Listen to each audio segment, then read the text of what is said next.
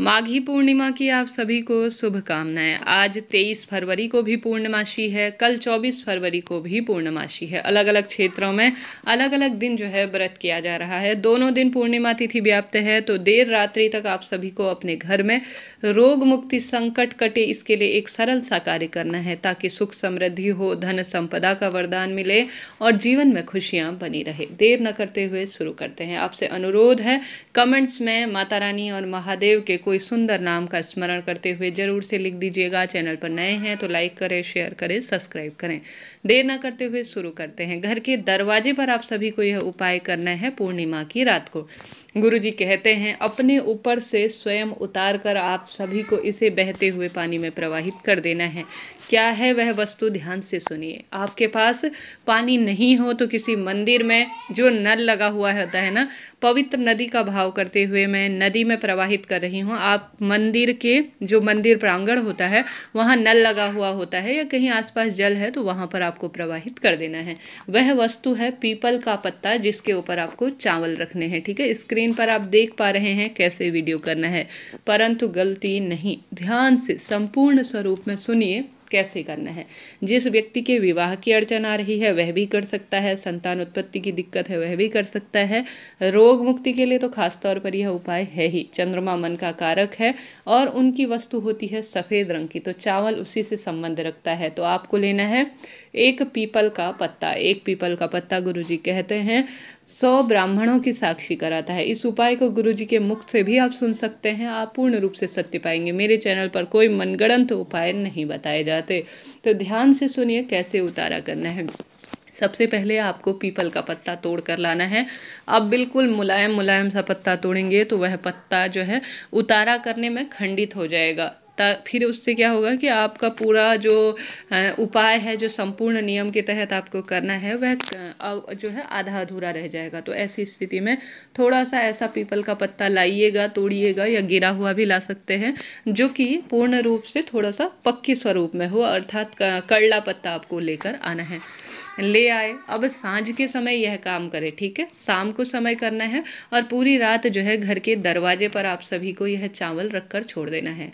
आप सभी को पीपल के पत्ते के ऊपर एक मुट्ठी या उससे कम इच्छा शक्ति सामर्थ्य अनुसार चावल रख देने हैं। ठीक है रख दिया। निरंतर प्रभु स्मरण करें। श्री शिवाय नमस्तुभ्यम मंत्र का जाप करें। जो पीड़ा है जो दुख तकलीफ़ है सब कहें। रोग मुक्ति है या प्रतियोगी परीक्षा ट्रांसफ़र की बात संतान विवाह की बात धन संपदा भाग्योदय नहीं होता है या वाणी में मिठास नहीं है जो व्यक्ति क्रोधी है संकट से परेशान है उन सभी के लिए यह कार्य किया जा सकता है। सबसे पहले आपने रख दिया। अब उस व्यक्ति के ऊपर गुरु जी यह तो नहीं कहते कितनी बार उतारा करना है परंतु आप चाहें, हमेशा गुरु जी के जो उपाय होते हैं, उनमें इक्कीस बार बताते हैं, गुरु, आप इक्कीस बार भी गुरु जी के कहे अनुसार कर सकते हैं, नहीं तो सात बार भी उतारा किया जा सकता है। तो उस व्यक्ति के ऊपर से आपको उतारा कर लेना है। इच्छा शक्ति आपकी है, आप कितनी बार उतारा करना चाहती हैं, उसके बाद उतारा कर लीजिए। स्वयं के ऊपर कर रहे हैं तो खुद से तो उतारा होगा नहीं। इससे क्या होगा कि यह गिरने का भय होगा। चावल गिरना शुभ नहीं माना जाता। साथ के साथ यह भी बताते हुए चलो कि चावल पूर्ण अवस्था अवस्था में होने चाहिए, अर्थात खंडित ना हो इस बात का भी ध्यान रखें। अपूर्ण अवस्था में चावल हो और कोई व्यक्ति परेशान है तो उसके ऊपर से आपको एंटी क्लॉक अर्थात उल्टी दिशा में उतारा कर लेना है। अपने ऊपर अन्य व्यक्तियों की मदद से आप उतारा करवा लीजिए। कर लिया। अब घर पर इसे कहाँ रखना है? घर पर इसे दरवाजे के पास रखना है। अब सीधे ज़मीन पर रखेंगे तो आते जाते बच्चे गिरा देंगे, जो है पैर की ठोकर लग सकती है। किसी कटोरी के ऊपर या किसी प्लेट के ऊपर ऐसा कीजिएगा कि इस जो है, जो पीपल के पत्ते के ऊपर चावल हैं, उन्हें रख दीजिए, ठीक है? रख दिया। अब प्रश्न आते हैं कि घर के बिल्कुल बाहर दरवाजे पर रखना है क्या? वहाँ रखेंगे तो कोई इसे उठा ले जाएगा, कोई चिड़िया, कबूतर स्वान इत्यादि, अर्थात कुत्ता इत्यादि से गिरा जाएगा वन्य जीव जंतु तो ऐसी स्थिति में आप अपने घर के दरवाजे दरवाजे के, किस साइड रखना है, यह भी ज़रूर से जानने योग्य बात है। आप सभी को यह कार्य अपने घर के दाहिने तरफ़ दो दरवाज़ा है, अंदर की ओर लगा हुआ। दाहिने तरफ़ की ओर अपने दाहिने हाथ की ओर रखिएगा। उल्टे हाथ की तरफ़ कोई शुभ नहीं माना जाता, दाहिने तरफ़ कोई भी कार्य सही माना जाता है, आप जानते होंगे। तो आप सभी को दाहिनी ओर इसे रख लेना है। अब सुबह हो गई, पूर्णिमा की सुबह रात भर इसे रख कर छोड़ना है। पूर्णिमा की सुबह गुरु जी कहते हैं, इसे नेत्रों से लगा दीजिए, अर्थात नैनों से लगा लीजिए, इसे सूंघ लीजिए। थोड़ा सा इसको सूंघना है, थोड़ा नेत्रों से लगाना है, फिर इसे ले जाकर किसी भी नदी में आपको प्रवाहित कर देना है।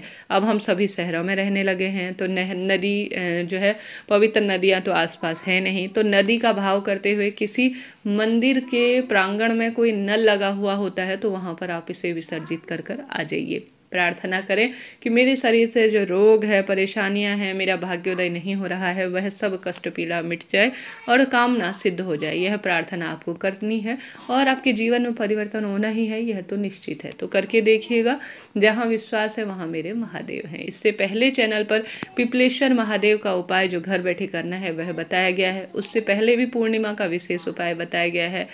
कृपया करने का प्रयत्न करें, भाग्य बदलेगा, सौभाग्य में वृद्धि होगी। कष्ट संकट सदा सर्वदा के लिए कटने आरंभ हो जाएँगे। तो करके देखिएगा, लाभ आपको मिलना ही है। तो प्रथम उपाय आपको यह करना है। दूसरा, आप सभी को आवश्यक रूप से दीपक का उपाय करना है। देखिए, पूर्णिमा तिथि है, दीपक का उपाय कैसे भूला जा सकता है? साल की सबसे बड़ी पूर्णिमा इसे कहा जाता है, जो कि सौभाग्य में वृद्धि करती है, कष्ट संकट, पीड़ा का नाश करती है। तो आप सभी को सबसे पहले आवश्यक रूप से आज जो है माँ लक्ष्मी के नाम का, आज वैसे भी जो है शुक्रवार है, कल भी शनिवार है, पूर्णिमा तिथि है, किसी भी दिन करते हैं तो लाभ आपको होता ही है। तो आप सभी को क्या करना है, एक चार मुखा दीपक, माँ अष्टलक्ष्मी का ध्यान करते हुए, ठीक है? चार बत्ती उसमें हो जहाँ पर भी आप माता लक्ष्मी और गणेश, जो गणेश जी महाराज और साथ ही श्रीहरि विष्णु सत्यनारायण भगवान का पूजन करते हैं वहाँ पर आपको चार मुखी दीपक बनाना है, ठीक है? आटे का दीपक हो तो सर्वोत्तम है, नहीं तो माटी का ले सकते हैं। उसमें एक चुटकी हल्दी डालिएगा, क्योंकि श्रीहरि, विष्णु और माँ लक्ष्मी को बहुत अधिक प्रिय है। हल्दी, और हल्दी सौभाग्य में वृद्धि करता है। खुशियों के भंडार घर में भरने में सहायक होता है। तो आप सभी को क्या करना है? घर के जो मंदिर है, वहाँ पर माँ अष्टलक्ष्मी का ध्यान करते हुए चौर मुखा दीपक लगाना है। चाहे तो इसमें कलावा अर्थात लाल बाती का भी प्रयोग कर सकते हैं, क्योंकि लाल रंग माँ लक्ष्मी को पसंद होता है। आपने कर लिया यह कार्य। इसके बाद आपको निरंतर जो है कथा सुननी है पूर्णिमा व्रत की, या आप जो है सत्यनारायण भगवान की कथा सुन सकते हैं। इच्छा आपकी है, आपके सौभाग्य में इससे वृद्धि होगी, कष्ट संकट पीड़ा का नाश होगा। घी का ही यह दीपक लगेगा। साथ के साथ आप पूर्णिमा तिथि पर माँ तुलसी के आगे दीपक लगाएँ। अन्नपूर्णा माँ रसोई घर में वास करती हैं, वहाँ दीपक लगाएँ। श्रीहरि विष्णु और महादेव के मंदिर में दीप लगाएँ। पीपल वृक्ष की जड़ में दीपक लगाना। आज सौभाग्य में वृद्धि करता है, माँ लक्ष्मी को आकर्षित करने का कार्य करता है। तो इन स्थानों पर आप दीपदान करते हैं तो निश्चित ही पूरा परिवार इससे सुख प्राप्त करता है। इससे पहले चैनल पर आपसे अनुरोध है, उन वीडियो को देखकर अपना जीवन सार्थक करें। बहुत सरल उपाय है जो आपको रोग मुक्ति देंगे, कष्ट पीड़ा का भी शमन करेंगे। पूर्णमासी का व्रत साधारण नहीं है, मन मस्तिष्क को पूर्ण रूप से सुंदर जो है स्वरूप में यह विकसित करता है और कष्ट काटता है। आज के दिन एक समय का भोजन पंडित ब्राह्मण जी को दान कीजिएगा। आज घर में खीर का भोग लगाकर माँ लक्ष्मी के आगे आपको समर्पित करना है, महादेव को भोग लगाना है। फिर उस भोग को उठाकर घर के सभी सदस्य थोड़ी देर बाद ग्रहण कर लीजिएगा। कष्ट कटेंगे। चंद्रमा को दूध मिश्रित जल सफ़ेद फूल डालकर लोटे में अर्घ दीजिएगा। यह भी आज रात को लाभ देता है। जय हरि विष्णु। श्री शिवाय नमस्ते